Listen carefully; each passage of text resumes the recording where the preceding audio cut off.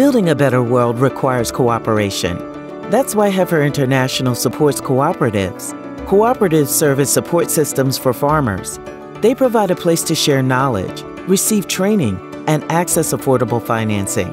Together, cooperative members can bulk their products, allowing Heifer to connect them with new markets and negotiate higher prices for each farmer. At the heart of cooperatives are self help groups. These small groups of 25 members meet regularly to share ideas, address concerns, and support each other.